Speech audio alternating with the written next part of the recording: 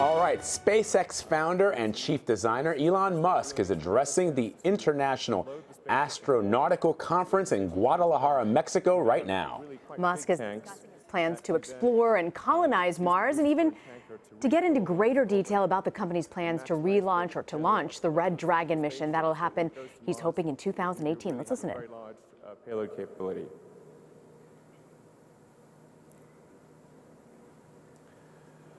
So, as I said, refilling in orbit is, is one of the essential elements of this. Um, with, without refilling in orbit, you, um, you would have a half order of magnitude uh, impact roughly on, on the cost.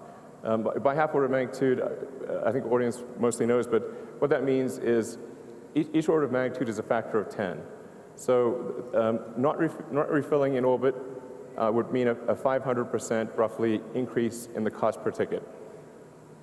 Um, it, it, also allows us to, to, build a smaller vehicle and uh, lower the development cost, although this vehicle is quite big, but it would be much harder to build something that's five to 10 times the size.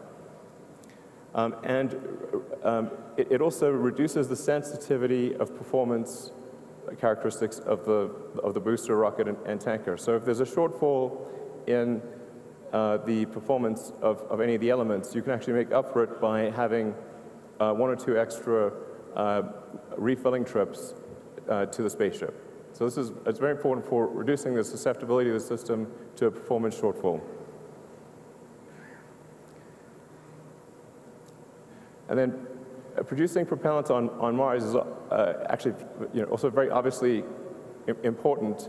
Again, if, if we didn't do this, it would have at least a half order of magnitude increase in the, in the cost of a trip, so 500% increase in the cost of the trip. Um, and it would be pretty absurd to try to build a city on, on Mars um, if, you, if your spaceships just kept um, staying on Mars and not going back to Earth. You have this like massive graveyard, graveyard of ships. You have to like do something with them. Um, so it really wouldn't make sense to, to, um, uh, to leave your spaceships on Mars. You really want to build a propellant plant on Mars and send the ships back. So, and Mars happens to work out well for that because it has a CO2 atmosphere, it's got water ice um, in the soil, and with H2O and CO2, you can produce CH4, methane, and oxygen O2. So picking the right propellant is also important. Um, that sort of, think of this as maybe there's, there's three main choices, um, and they have, the, they have their merits, but um, kerosene or rocket propellant grade kerosene, which is also what uh, jets use. Uh, ro rockets use a very expensive form, a highly refined form of, of jet fuel, essentially, which is a form of kerosene. The, the, it helps keep the vehicle size small, uh, but uh, because it's, it's a very specialized form of jet fuel, it's, it's quite expensive. Uh, the uh, reusability potential is lower.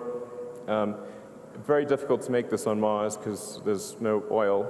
Um, so really quite difficult to make the propellant on Mars. Um, and, um, and then propellant transfer is, is, is, is pretty good, but not, not great.